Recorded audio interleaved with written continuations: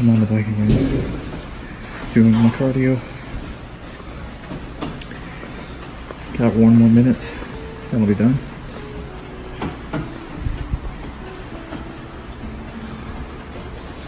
It's pretty cloudy outside today.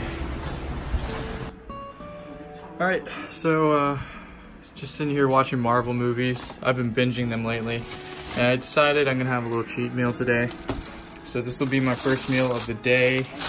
Very late first meal of the day, but I just grabbed some Burger King. And interestingly enough, they, they, uh, oh sorry, the TV's a little loud. Let me mute that for a second. They, they top these cups off with, uh, like a, like a bubble tea kind of thing. It's kind of cool. So I'm just gonna, oh, there we go. So it's almost like I'm drinking a little bubble tea, but it's just a, it's just a Coke. Isabel, you freaking out because the door's open? But uh, yeah, just grabbed a little Burger King. Gonna have a little meal for myself, and then uh, probably do an in-home ab workout after. All right, how's it going, everybody? So uh, it's actually the end of the weekend, but I decided now is probably a good time to record the voiceover portion for the workout that I did yesterday. And um, yeah, so today is the end of weekend or week number 10 and I'll be starting week 11 tomorrow. It's definitely been a grind, um, but I'm looking forward to the next two weeks and ending out this 12 week cut. When I first started this, it was, you know, I really didn't know how far I would go. I thought I would quit to be honest, but I'm glad that I stuck it out this long. And I think part of that um, was being able to do these videos for you all.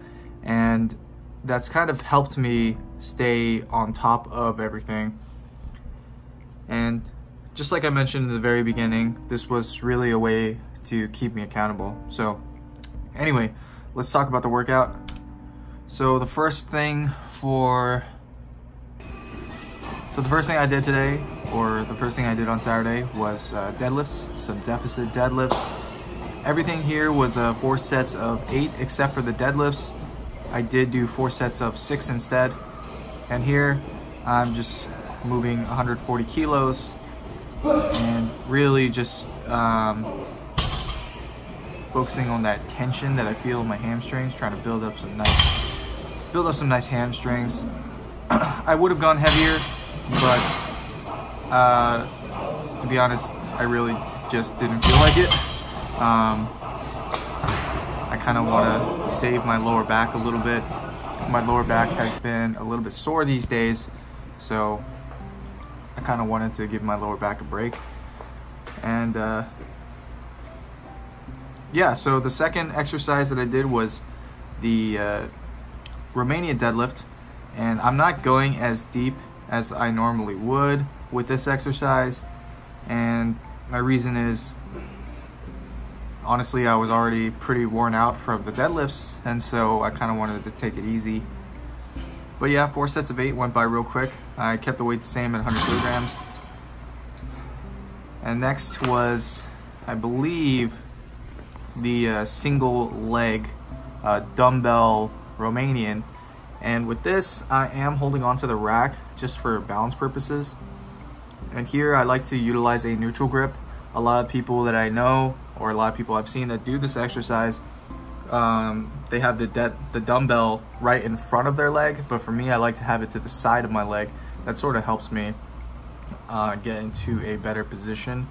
When I have it in the front, I kind of tend to feel like my my leg is shifting, so my hips are shifting in a weird way. But yeah. So I started with, so I alternated sides per set. Um, still four sets of eight with a 20 kilogram dumbbell for each set. And it felt pretty good, more or less. I think I got a pretty nice stretch. Next was some hamstring curls. Very simple. I actually had to throw dumbbells onto the stack. Uh, so basically in between where you see the cable and then the metal rods. I just stuck dumb dumbbells in there uh, to make the stack heavier. I don't know if this is a good idea because I don't know the weight rating for this cable system, but in any case, I did have to put those in because the entire weight stack was not heavy enough for me. But in any case, uh, hamstring curls actually felt really good today. Normally, they are a little bit painful for me, but today it felt really good. Or Saturday, it felt really good. Keep saying today. Anyway, next exercise here that you see, it's a little bit awkward for me to get in there, um, but I am doing some hip thrusts. And actually this uh, hamstring curl machine is a little bit better for hip thrusts. Uh, the pad actually has the ability to go a lot deeper than the one at my normal gym at Rainbow. But again, you can see that there's dumbbells in there, and so I had to make it a little bit heavier because, well, to be quite honest, I can hip thrust a lot of weight. Normally, my working weight with hip thrust, if I'm doing barbell hip thrust, is uh, somewhere in the upper 300s. So with these hip thrusts, I prob I just uh, I did them as slowly and contracted as hard as I could to make it a little bit harder. And the next exercise you're seeing here, I am sitting on the floor. Uh, I just basically grabbed a couple plates and I stacked them onto my lower abs and my quads and try to nestle it in as best as I could. And I'm just doing some very simple um, hip or glute bridges on the floor and really just concentrating as much as I can on my glutes keeping the weight uh, pretty much directly over them and these are actually really great warm-up exercise for the glutes uh, but I use this as sort of a uh, sort of a finisher for my glutes.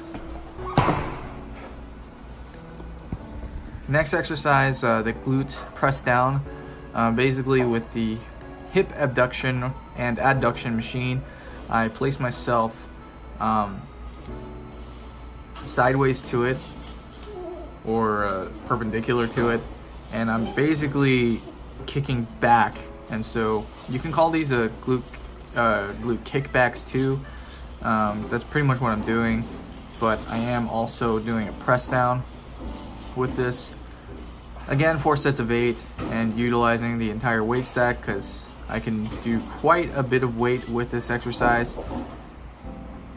you see me here just swinging it back around.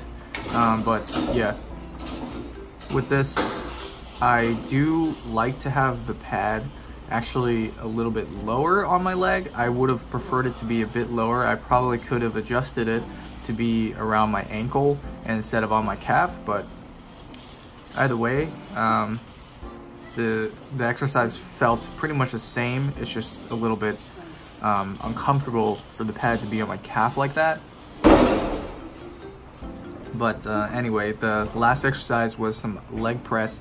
And with this, I this leg press is a little bit, it's a little bit finicky because as you can see the pad, so the actual pad of the leg press, uh, where you press, um, it's pretty vertical, but the track um, goes up on an incline. And so it does tend to get a little bit stuck at the bottom range of the motion. So it was a little bit awkward. It felt a little bit awkward. And also the track is not the smoothest because, you know, it's not like super high quality equipment. Um, but yeah, so I, I, don't really know how I feel about the track. Anyway, that conclude that concludes the workout uh, that I did yesterday.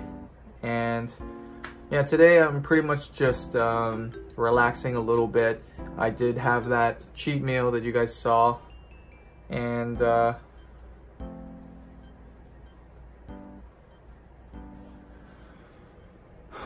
that's about all I got for today. Uh, I am recording this with my phone instead of with my, you know, with my camera. Just honestly out of sheer laziness, but anyway. Tomorrow we'll be coming back with a new week, week 11. And we'll be, you know, coming back real strong. It will be a benching day for me. But like I said, I am to take it easy on the bench. But uh, we'll see. We'll see how much weight I can comfortably handle with all my shoulder stuff. But anyway, thank you all so much for watching. That's the end of the video. If you have any questions, leave them in the comment section down below. If you want to get into online coaching, please email me at thebarbellbear@gmail.com. Before you leave, don't forget to click that like button and subscribe so you don't miss future videos. I will catch you guys tomorrow.